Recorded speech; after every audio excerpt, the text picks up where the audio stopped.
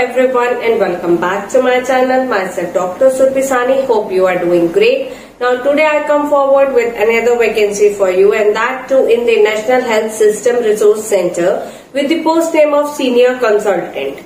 The number of posts have not been released yet. You have to check it in the official notification of this vacancy which I will post in the community tab section of my YouTube channel.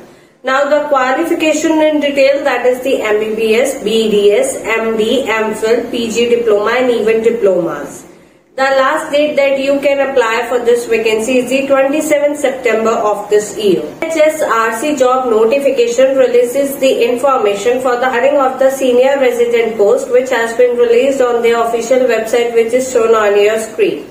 Candidates who are planning to start their career can apply online on or before 27 September of this year. Application in detail, it possesses a MBBS or a BDS or MD or MPhil in social medicine and community health or the MPH or even PG diploma in public health or diploma. Certificate course in mental health or one year of the working experience in the field of mental health.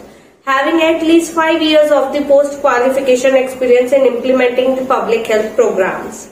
Now the most important part is apna sapna mani mani. That is the salary detail and that is in the range from 90,000 per month to 1,50,000 per month. Age limit is 50 years. Selection process is based upon the interview.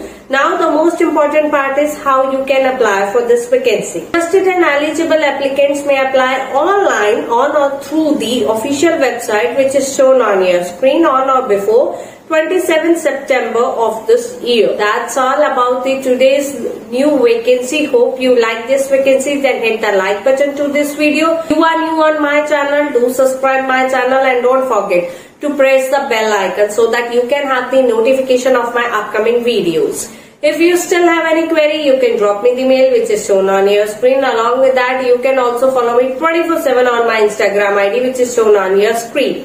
Till then, stay tuned, stay safe. Thank you for watching.